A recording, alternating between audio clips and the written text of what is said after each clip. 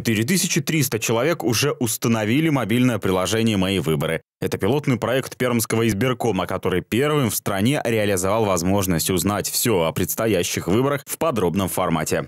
Мы рассчитываем, что к дню голосования, когда пойдет массовый э, интерес к теме выборов, думаем, что ну, к пяти тысячам мы однозначно приблизимся, мы на это рассчитываем. И понятно, что в дальнейшем будет уже также постепенный рост этой аудитории. Найти свой избирательный участок, получить подробную информацию обо всех зарегистрированных партиях, знакомиться с биографией кандидатов и многое другое. Все это доступно пользователям мобильных устройств. Главная цель проекта – повысить электоральную активность населения и, в первую очередь, молодежи. Аналогичную функцию осуществляют и различные некоммерческие организации, запускающие всевозможные акции в различных мессенджерах, например, в Вайбере. Может быть, кто-то получил там будильник э, с Маратом Башаровым, не проспи выборы.